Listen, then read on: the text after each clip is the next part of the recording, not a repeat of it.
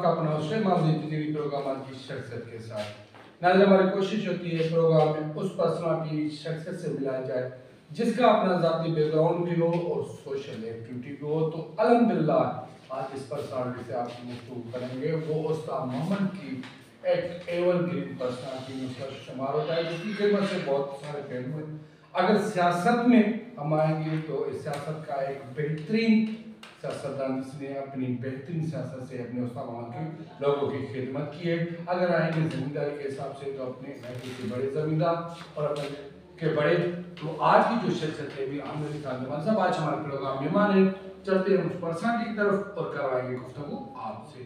Sir, first of all, आपकी बड़ी मेहरबानी कि आपने अपना कीमती टाइम हमारे लिए निकाला।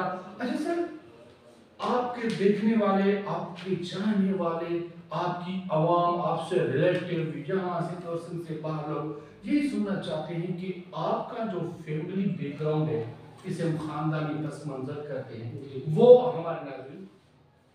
जी हमारा फैमिली बैकग्राउंड जो है वो पाकिस्तान पार्टीशन से शुरू है। जी जी। मोहतरमा फातिमा जना से और मेरे जो दादा थे ज़फ़र खान जमाली साहब। जी जी। वो बानी बलूचिस्तान बानी पाकिस्तान जो है उनके सब इकट्ठे हम लोग जो है काजाजम के वो साथी रहे हैं सही और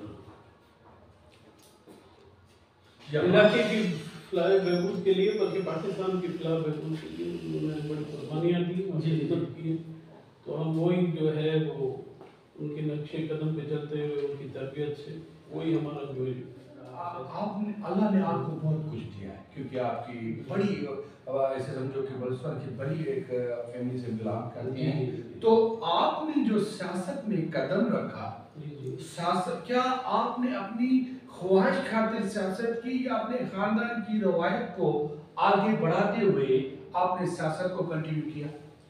नहीं जी मैं आ, मेरे वालिद साहब सियासत करते थे। मोहतरमा फातिमा जना के साथ जी जी और भट्टो साहब के साथ सही वो पीपल्स पार्टी के बलूचिस्तान के पहले जो तीन नोटेबल्स थे उनमें शुमार होते। एम एन ए भी रहे वो भट्टो साहब के ज़माने में। तो यहाँ सियासत इबादत तो हमारा घर समझता है उसको लेकिन अब ज़रूरत बन चुकी है। सही वो इलाके की बेहतरी के लिए हम हाँ, हाँ। अपना जो है हिस्सा डालना चाहते सही। हमारा फ़र्ज़ भी है और हमें जो है वालदेन की तरफ़ से और बड़ों की तरफ़ से हुक्म भी है कि आप इब्तदार में हो या ना हो खिदमत आपने करनी है वो हमारी अवलिन तरजीह है। अच्छा जब आपने सियासत की तो पहली वो कौन सी पार्टी थी जिसने आपने स्टार्ट किया? वालिद साहब की तरफ़ से भी हम पुराने पीपल्स पार्टी ठीक है। बाद में फिर आज़ाद भी लड़े हम्म, और अ, वालिद साहब और फिर 1985 में और 93 में मिनिस्टर और रहे हाँ। फिर उसके बाद जो है 2002 में वालिद साहब गुजार गए। जी जी। फिर उनके बाद हैदर खान बड़े भाई हैं। सही। वो से वाबस्ता हैं सियासत से। हम्म, अ, मैं हूँ और बाकी सारी फैमिली मेंबर्स हैं माशाल्लाह। अच्छा। Starting from Khangarh to Faizabad अच्छा अभी आप पीपल्स पार्टी के प्लेटफॉर्म से जी पीपल्स पार्टी अच्छा आप मेयर भी रहे हैं यहाँ के। जी जी। अच्छा मेयर के दौरान। जब आपको मौका मिला आपको मेयर चुना गया तो आपने जो जो आवाम के भलाई के अच्छे अच्छे काम किए जो जो आपने स्कीमें दी वो हमारे नागरिक मुझसे जितना हो सका अपनी कैपेसिटी में हम्म। इंडिविजुअली क्योंकि मेरी जो वो मेयरशिप है टिन्योर है चेयरमैनशिप का जी जी। वो उस्ता मोहम्मद की तारीफ़ का सबसे सख्त तरीन टिन्योर था। अच्छा जो टेंडर आपको मिला था? जी वो बहुत हर तरफ़ से जो है हम्म। पोजीशन थी।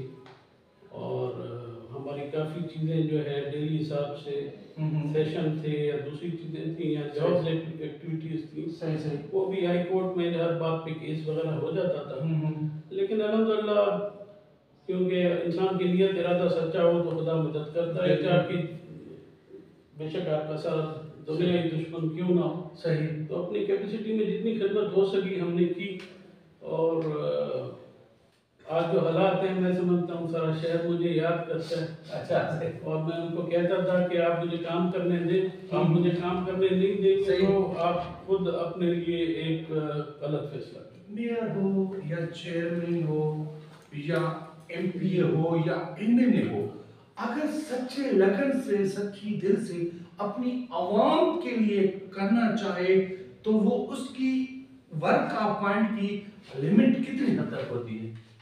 मेरी अपनी एक वो अपनी सोच मैं उसको आपके साथ ऐसे शेयर करूँगा क्योंकि आप जब भी कोई पब्लिक ऑफ़िस होल्ड करते हो गवर्नमेंट पब्लिक ऑफ़िस होल्ड करते हो किसी भी पोजीशन में हो किसी भी कैपेसिटी में हो तो आपसे एक हेल्प लिया जाता है। सही। और वो उस हेल्प पे क्लियरली लिखा होता है जिसमें हजूर सल्लल्लाहु अलैहि मोहम्मद और अल्लाह को हाजिर नाजिर जान की। सही। आप चाहे वो नेशनल असेंबली देख लें कोई फ्लोर देख लें ऊपर आपने देखा होगा आयतल कुर्सी लिखी। बिल्कुल। तो एज मुसलमान हम तो वहीं से बाउंड हो जाते हैं। तो आपके पास जो आप मेरी अपना नज़रिया है कि आप किसी भी कैपेसिटी में हो गवर्नमेंट की आप खिदमत करें हर चीज़ से बालातर हो। तो अलहमदिल्ला जो मेरे हिसाब से आज मेरे वालिद साहब का नाम भी महफूज है अच्छे लफ्ज़ों में जो है वो आ, बोला जाता है और हम जो उनकी औलाद है हमारा भी वो भी अच्छे लफ्ज़ों में याद किया जाता है। तो मुझे ये बहुत अच्छी मेरी जो सियासत है वो उसका रुख किस तरफ़ जा रहा है? और आज की सियासत को आप किस नजरा से देखते हैं? और खुद कितना मुतमिन है आज की सियासत? देखिए आजकल की सियासत आप अगर आप लोकल लेवल से नेशनल असेंबली तक देखें सेनेट और नेशनल असेंबली को वो बहुत उसको एक जुमले में मैं वो ख़त्म करता हूँ कि लीडरशिप का फुकदान है। सही। और साफ़ नीयत नहीं है लोग लीडरशिप का फुकदान है। और पॉलिटिकल जो है मसलों में वो पॉलिटिकल मसला नहीं है वो ऐसे लगता है वो दाते दरबार की देख है उसमें सब जो है खाना चाहते हैं उसको और लेकिन है कि अपना काम कोई नहीं करना चाहता। काम कोई भी नहीं करना चाहता। अच्छा सर दूसरी बात ये कि आप समझते हैं कि बिलाल भुट्टो जरदारी साहब वो मुहतरमा वाला खाल वो मुहतरमा वाला नक्शिप क्या वो पूरा कर सकता है?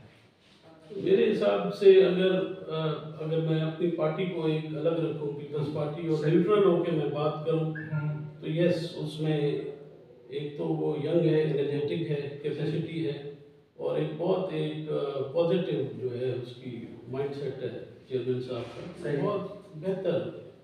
क्योंकि इनहेरिटेंस उनको जो तरबियत मिली है भुट्टो साहब से लेके मोहतरमा बेनजीर भुट्टो तक फिर जरदारी साहब तक उन्होंने हमेशा दिया है, लिया नहीं है। यही चीज़ मैं इलाके वालों को भी यही कहना चाहता हूँ कि अलियाबाद ने हर वक्त दिया है, लिया नहीं है। सही तो अभी जो है टाइम है, वो अलियाबाद के साथ निभाने का है बानस्पत जो है। साहब की शख्सियत आपकी नज़र में क्या है? और मोहतरमा बेनजीर भुट्टो की शहादत के बाद peoples party convert to Asif Ali Zardari साहब। तो जरदारी साहब ने पार्टी को भी किस हद तक संभाला है? जरदारी साहब का सबसे आप अगर गिने चुने चीज़ें देख लें उसमें एटीन अमेंडमेंट को आप देख लें। उन्होंने जो जितना सूबों को मज़बूत किया है और ऊपर से जब सदर थे जरदारी साहब पीपल्स पार्टी को जब उनको टेन्योर मिला तो वो पाँच साल दौर भी आप देख लें कि हर तरीके से उन्होंने मुल्क के लिए और पार्लियामान की खिदमत की, की और उसको उन्होंने रवा रखा सही। चलाया। और सब सारे जो है डिपार्टमेंट्स थे इंस्टीट्यूशन उनको मज़बूत किया। और वो भी दौर देख समझते हैं। कि यहाँ पर पीपल्स पार्टी को वो रिस्पांस मिलेगा जो से मिलना चाहिए। क्योंकि अगर देखते हैं सही जगह के लिए तो कोई भी पार्टी हो कोई भी पार्टी हो यहाँ पर तो किसी का भी काम मुझे तो नज़र नहीं आ, आता। क्योंकि जिस चीज़ पर हम डालेंगे तो वो ज़ीरो ज़ीरो पॉइंट है। अगर हम आएँगे हेल्थ की तरफ़ तो हेल्थ बिल्कुल ज़ीरो ज़ीरो। अगर आएँगे हम रोड्स की तरफ़ तो उनके हालात आपके सामने हैं। तो फिर भी पीपल्स पार्टी को आप क्या समझते हैं कि यहाँ पे रिस्पांस मिलेगा? पीपल्स पार्टी को बहुत अच्छा रिस्पांस मिलेगा जी। जी और उसकी वजह ये है कि जो भी पिछले अखबार में पार्टियाँ बनी और उनका जो है किरदार भी देख लें उनकी जो है अचीवमेंट्स भी कारकर्दगी भी देख लें। और आप बेशक बलूचिस्तान से आप सिंध को कंपेयर। करें आप गंबट देख लें से आप थरपालकर के प्रोजेक्ट देख लें सही। और अभी दो तीन और यूनिवर्सिटीज जो बिलावल साहब ने शुरू की है बाकी सब चीज़ें छोड़ते हैं। आप सिर्फ़ आइडेंटिटी अपना कार्ड देंगे वो भी भुट्टो साहब देंगे आपको। सही। आपका पासपोर्ट भी भुट्टो साहब देंगे आपको। तो हर चीज़ मतलब अपने हिसाब से। अच्छा कहा कि मैं काम करना चाहता था लोगों ने मुझे काम करने नहीं दिया। मीन्स लोग हेजिटेटेड हो गए तो अब आने वाली इलेक्शन में आप उन लोगों को कैसे मैनेज करेंगे और कैसे उसे उस कैंपेन को चलाएँगे? क्योंकि पहले ही लोग सियासत से दूर होते जा रहे हैं सियासत से नफरत करने लगे तो अब उस क्राइटेरिया को आप कैसे मैनेज करेंगे नहीं काम जो है हमने अपनी बिसात के मुताबिक किया हम्म। वो ये बिल्कुल ये था कि हमें रोका गया सही और उसमें नुकसान शहर का हुआ मुझे मेरी जात को नहीं हुआ सही। अब शहर वाले सोचे और अभी भी जो चल रहे हैं अभी जो इलेक्शन है मुझे मैं समझता हूँ मुझे कुछ कहने की बताने की ज़रूरत ही नहीं हम्म। है एक हर किसी का जो है वो सफ़र सियासी सफ़र सबके सामने है। तो मैं कुछ उस पर ना करूँ। लोगों को अपने चाहने वालों को अपनी आवाम को सा- की आवाम को आने वाली इलेक्शन के लिए कल्चर डे के लिए मैसेज देना चाहे तो हमारे चैनल के थ्रू आप मैसेज दें पूरे पाकिस्तान को एक मैसेज देना चाहता हूँ कि मेहरबानी करके आप वो जो है फैसला करें।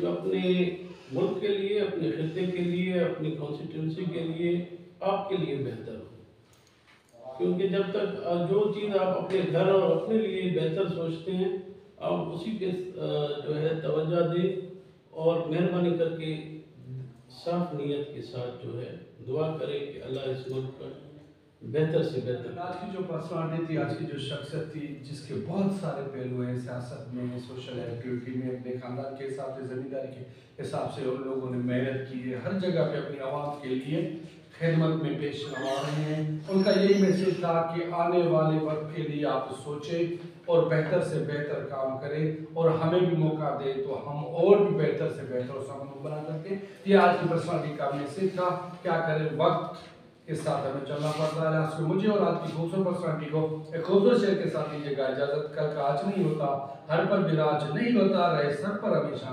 दुनिया में ऐसा कोई ताज नहीं होता। Wish you all the best Pakistan, ज़िंदा।